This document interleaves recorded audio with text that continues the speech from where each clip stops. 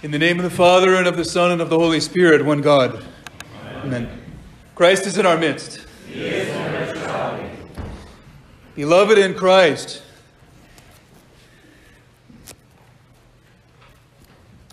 during the service this morning, I was thinking about a metaphor that I'll share with you, and then I'll go on with my homily. But it's a simple one, but it's a beautiful one.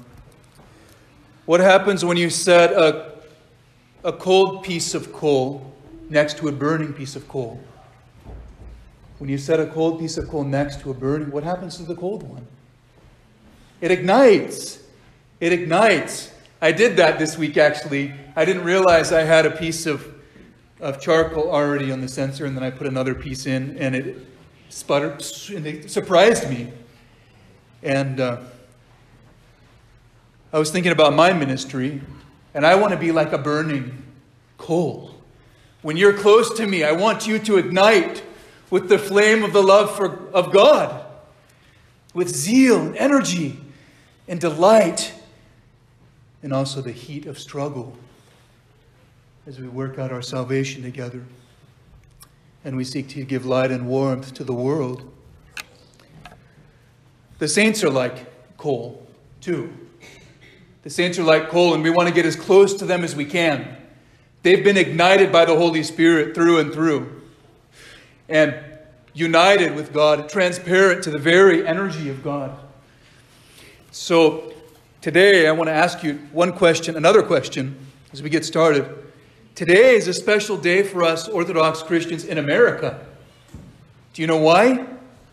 I gave you a hint. Special day for us Orthodox Christians in America. I give you a hint on that little stand right there. A little stand. Saint Innocent. Yeah, today's the feast day of Saint Innocent. And um, Saint Innocent of Alaska. Okay, good. Thank you. Not everyone knows, but some of you do, I know. Today's the feast day of Saint Innocent of Alaska. It's also the feast of Saint Thomas. But St. Innocent of Alaska, whom we refer to as equal to the apostles, an enlightener of North America. We have a lot of saints from other lands because, well, America is fairly young as a country. And the missionaries only came a couple hundred years ago. And we know the Orthodox missionaries came through Eastern Europe, Siberia, Russia, and into Alaska, not across the Atlantic like those who were fleeing from Western Europe seeking religious freedom, but they came to reach the indigenous people of Alaska. And there, there are forebears in preaching the gospel in North America.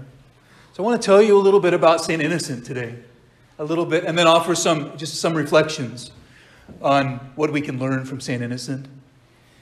You may not know much about him. Let's get to know him.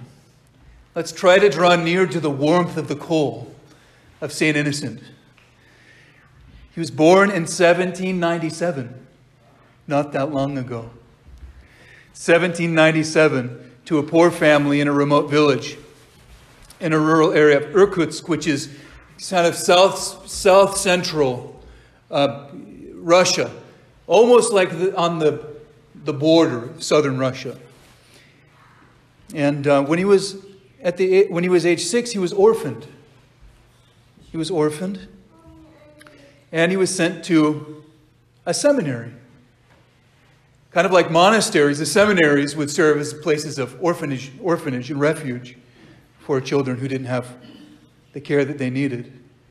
Shortly after he arrived, the relics of Saint Innocent of Irkutsk were found, whose name the apostolic ministry, uh, young Johann or John, he would later inherit that name, Innocent.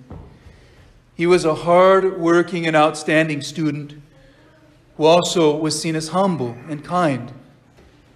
And for these qualities, he was given the name Venyaminov, after the late Bishop Venyamin, which is Russian for Benjamin, of Irkutsk. So he was known as John Benyaminov. After he was ordained to the priesthood later, he spent a year as a parish priest in Irkutsk. He was married and ordained. And then he volunteered to go into missionary work in Alaska. I think in one of the stories I was reading about, uh, about his life, and they said when he agreed to go as a missionary to Alaska, his wife started crying. That's a long way to go all the way to Alaska from Russia, from central Russia. Many other clergy were afraid to go because they heard it was a wild country full of dangerous savages.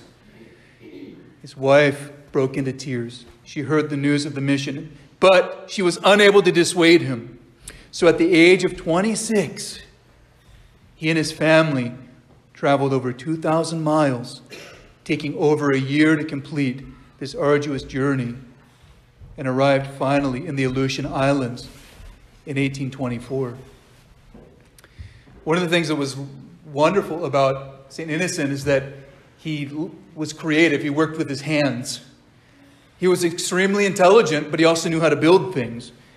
He built a church by himself with his own hands. In another one of the lives I was reading, it said that he, he built clocks and he was always fixing things. The devil couldn't have his way with him because his hands were never idle. That's for sure. He traveled to remote areas by kayak. They had these little, little wooden frame boats with skins stretched out over the frames that they would use to go into remote areas that were hard to navigate by larger boat or that were inaccessible by foot. So they would go in by kayak, and in some of the icons, you'll see him and other Alaskan missionaries canoeing to go evangelize or to reach the natives who are already Orthodox and minister to them. Sometimes you'll see pictures of them on dog sled. And also, the kids will like this. Sometimes he even traveled by reindeer to get where he was going. He learned six dialects, so he spoke his native language, but no other language. So he had to go and learn the language of the people. He learned six dialects of the native language. And he developed, like St. Cyril and Methodius, who developed the Cyrillic alphabet as they ministered to um, the barbarians of the Eastern European lands he developed, St. Innocent developed the first written alphabet of the natives in Alaska. And then, of course, he started translating the Bible and other sacred books into their language. It's interesting to think that he didn't go in and say, You need to learn Russian. You know?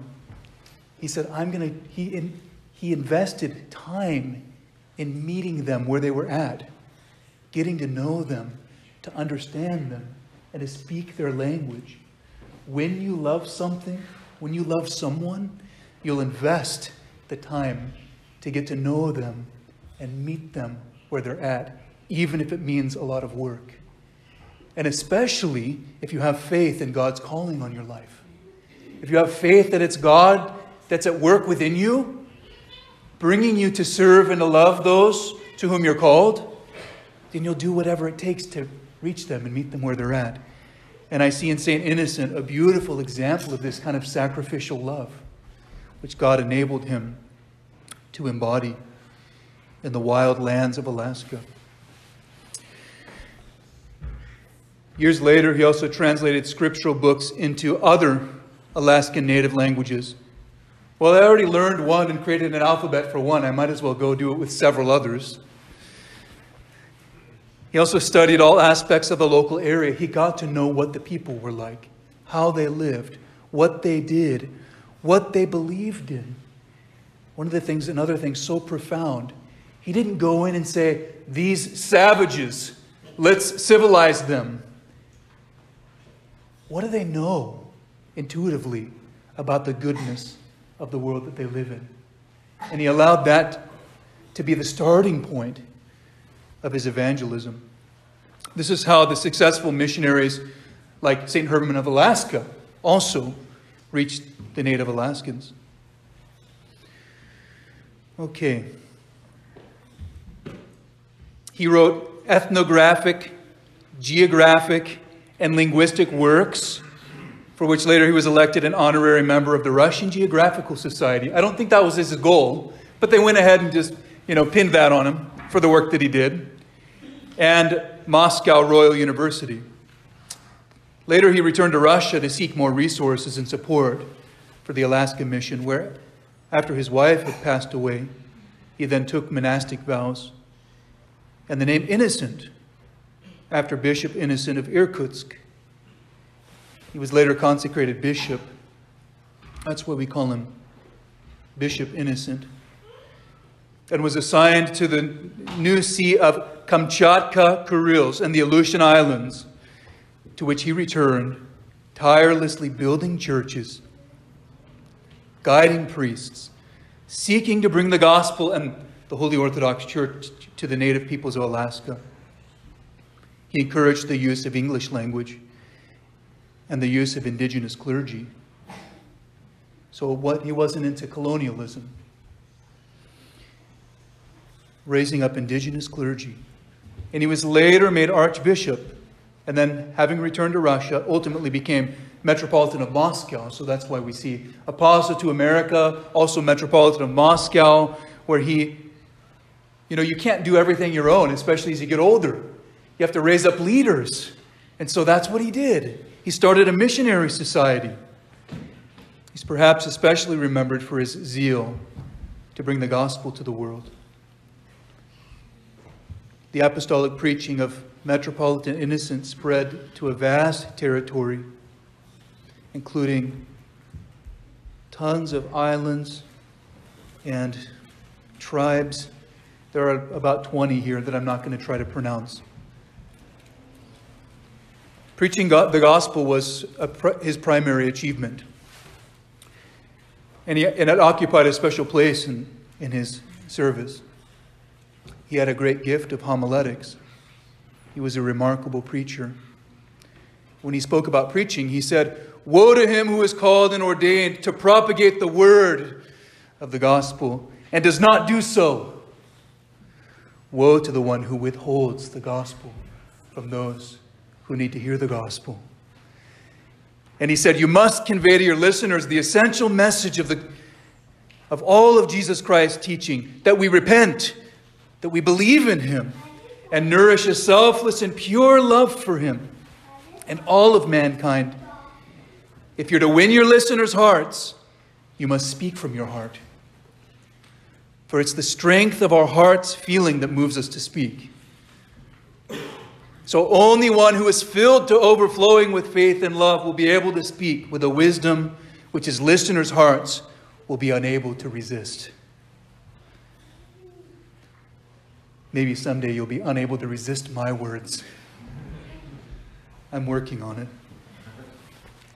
He fell asleep in the Lord on March 31st, 1879.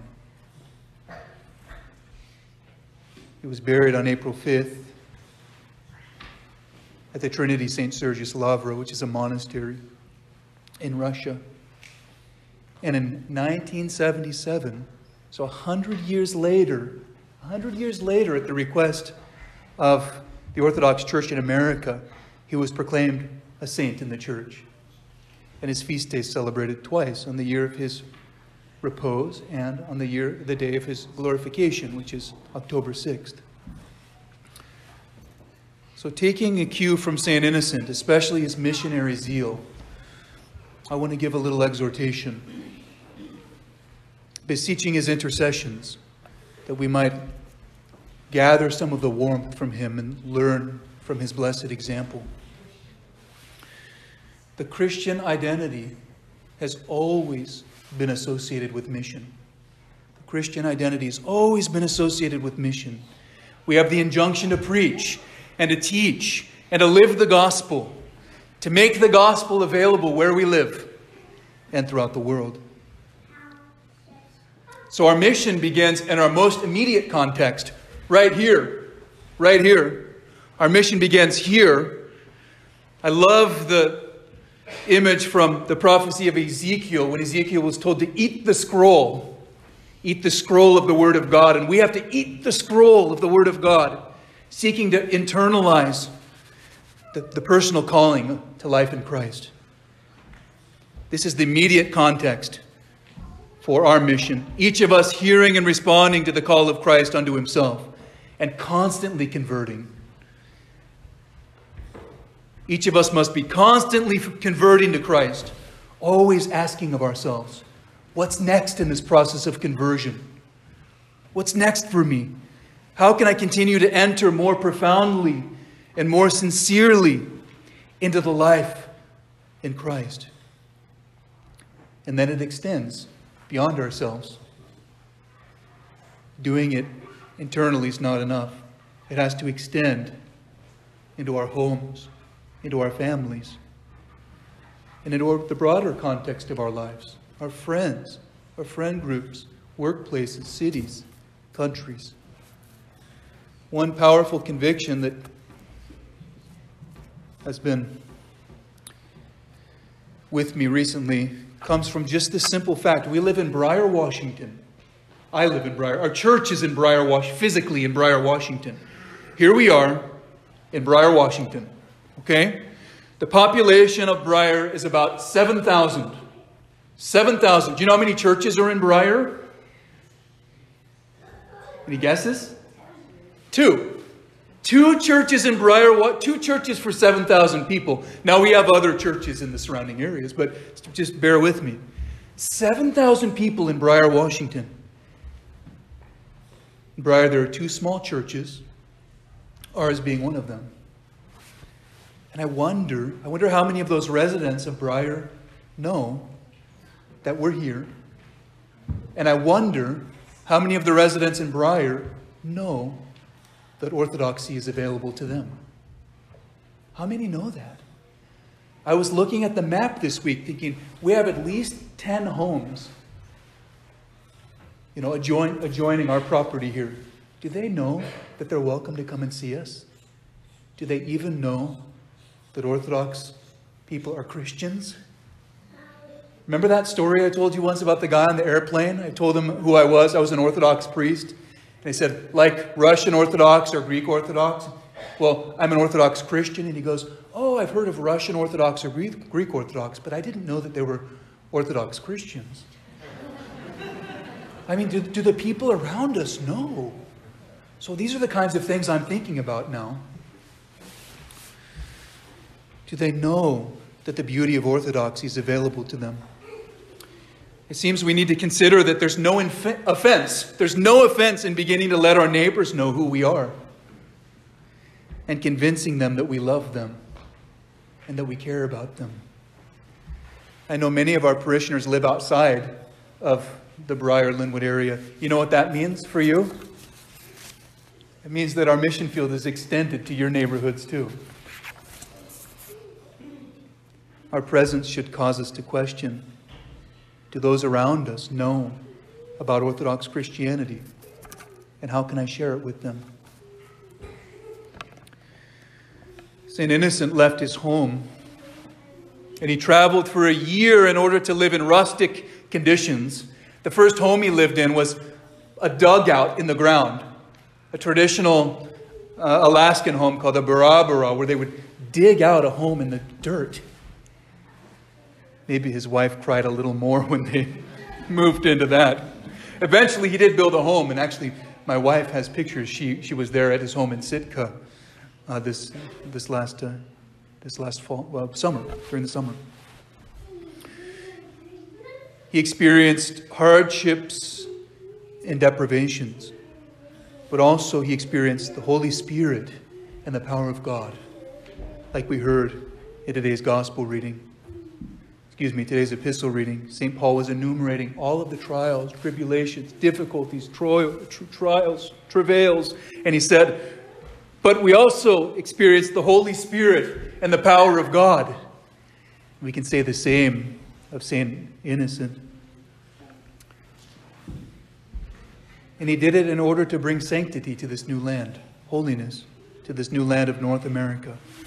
He worked hard in order to save some and in this way, a serious inspiration he is for those of us who live here in this country, this country that really knows very little about Orthodox Christianity. I've been repeating this thought, and this is where the challenge comes in for us.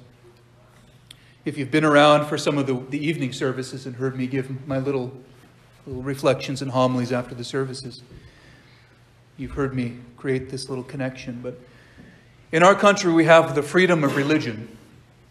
In our country, we have the freedom of religion, a constitutionally protected right. See? In the United States, we have a great freedom and for us, it's a joy to be able to cultivate our faith without governmental intervention and even with a certain amount of respect and privilege that's afforded to us by the government. We have freedom of religion. But this freedom, when we're granted it as a freedom, it means we also have the option of acting upon our beliefs. We have the option of worshiping. And I think that if we have the option, then it also becomes a luxury for us. If it's a freedom, that it's an option. If it's an option, it's a luxury.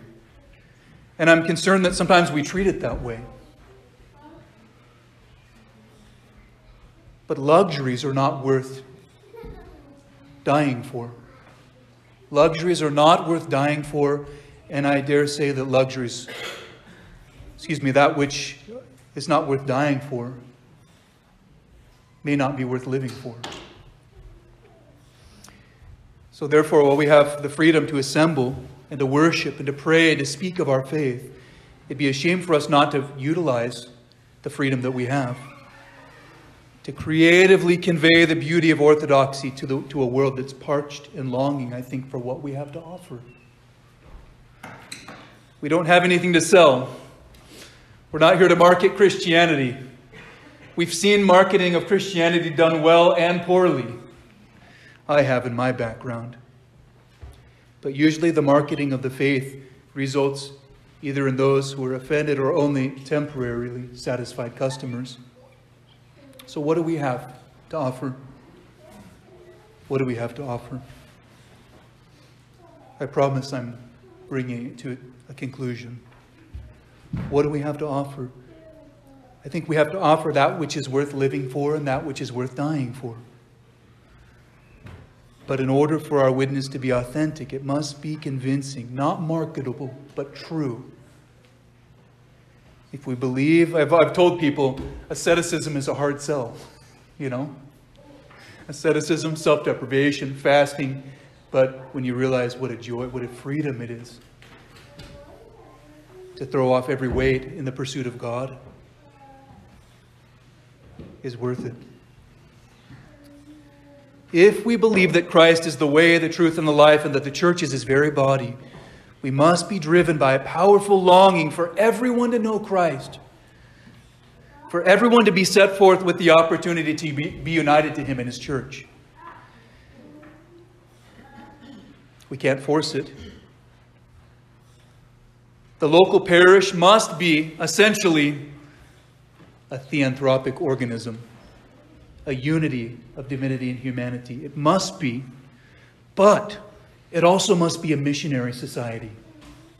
The church must be a missionary society, constantly burdened with the creative responsibility of preaching the gospel by its dynamic manner of life, its exceptionally countercultural convictions, its manifestation of celestial wisdom and revelation of heaven on earth.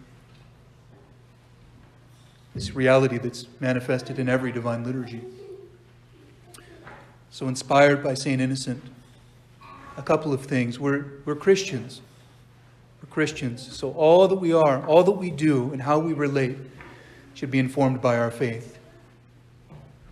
We live in a day and age of compartmentalization, and we need to remember that I'm no less or more Christian here than I am anywhere else. I'm no less Christian here than I am there, no more Christian here than I am there, wherever I may be. Therefore, I should constantly strive to be cognizant of the wonderful responsibility of being a vessel of redemption everywhere that I am. And if each of us individually, then all the more as a God inspired community. As each of us gathers up that warmth of faith and life and light in Christ, we should be constantly uniting, igniting one another, igniting and inspiring one another.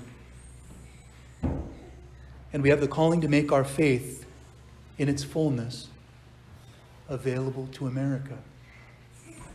This is our responsibility.